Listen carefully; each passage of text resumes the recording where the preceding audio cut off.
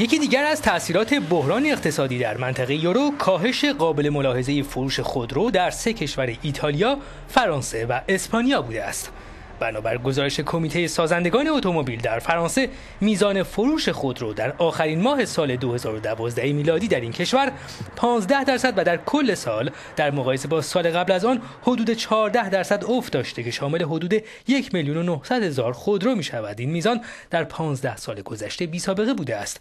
در ایتالیا هم فروش اتومبیل در ماه دسامبر سال 2012 22.5 درصد و در کل سال 19.9 درصد کاهش یافته که در 33 سال گذشته بی سابقه بوده است. اسپانیا هم با 13 درصد کاهش فروشی را تجربه کرده که در 23 سال گذشته سابقه نداشته است. در این میان شرکت آلمانی فولکس واگن به عنوان بزرگترین تولید کننده خودرو در اروپا شاهد کاهش قابل ملاحظه 36 25 و 15 درصد از فروش خود در هر یک از کشورهای ایتالیا فرانسه و اسپانیا بوده است.